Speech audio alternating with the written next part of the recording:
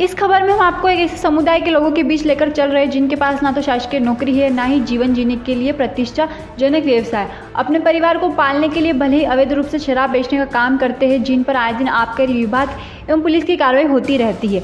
बस यही कश्मकश में जी रहे ये लोग।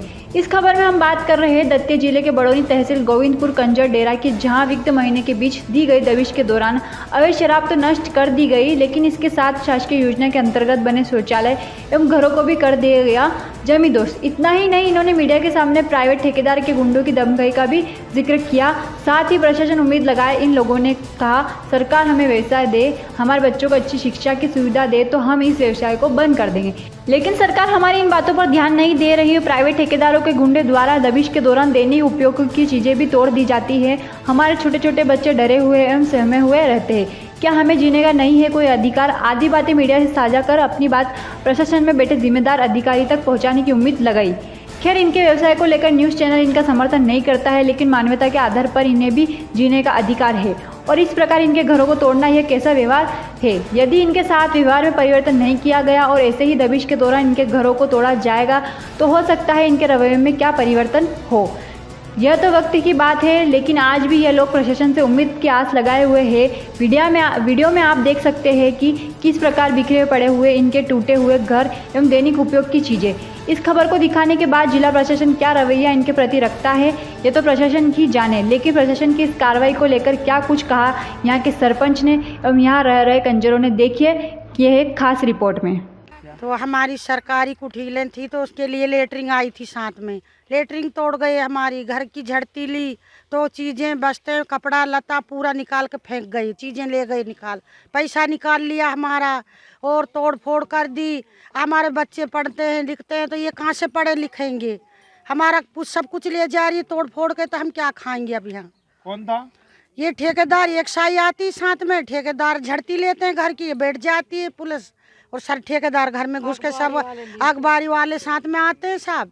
तो बस ठेकेदार ले जाते हैं सब निकाल के हमारा घर में से।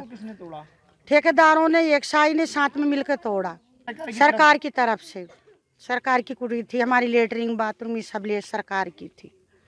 हमारा लेटरिन की नाली बहुत गहरी हम कूद नहीं पाते हैं निकल नहीं पाते हमारा शौचालय हमारा पानी का नहीं तोड़ो हमारे कोई लाने को पानी नहाने को नहीं देता हम विकला में गिर जाते फिर भी अखबारी वाले ने हमारा शौचालय भी तोड़ दिया, नहाने का भी तोड़ दिया। पानी की समस्या थी, वो भी तोड़ दी, उनने हमने बहुत डांटा, वो लोग डांटे नहीं।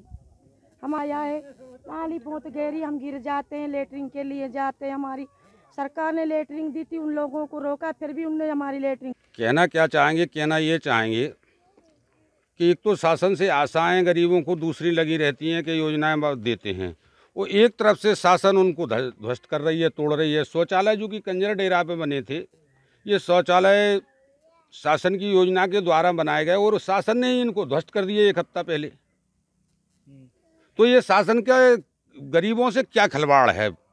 अगर ये दारू बेचते हैं कंजर तो इनकी दारू जब्त करो, इनको पकड़ो, इनको सजा करो, जाब्ता करो। ये किसने कह दिया कि जो शौचा, जो शौचालय बने हैं, मकान बने हैं, उनको तुम पटक रहे जाके? और जब मैं मैं यहाँ देखने आया तो ये बताया गया इन लोगों द्वारा और जो पड़ोस के मैं कंजरों की मैंने नहीं मानी क्यों? अपनी कहता है आदमी। तो जो बगल में पाल वगैरह ये केवट वगैरह है उनसे पूछा भैया जी क्या हुआ? बोले आप वो आबकारी वाले आए थे और कुछ ठेकेदार के आदमी थे जीसीबी लिए थे तो ये कंजर तो को खदेड़ा तो ये तो भाग गए। उनने उनके शौचालय वगैरह ये कच्चे मकान हौद वगैरह सब तोड़ दिए। तो, तो श्रीमान जी प्रशासन से मेरा ये कहना है और बहुत उम्मीदों के साथ कह रहा हूँ, ये नहीं कि वैसे कह रहा हूँ कि इसका कुछ तो निराकरण होना चाहिए।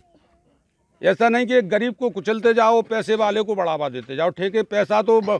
ये ठेकेदार क्या आधे धंधे नहीं करते हैं। हम सरकार से ये चाहते हैं, या तो हमको कुछ धंधा दिया जाए, ये दारू बंद करवाना चाहते हैं। या तो कुछ धंधा दिया जाए, जगह ज़मीन दिया जाए, इससे कि हमारे बाल बच्चों की पालन पोषण कर लें, हम तो पढ़ाना चाहते हैं, हम तो बाल बच्चों को। दत्या से लोकेश मिश्रा की रिपोर्ट।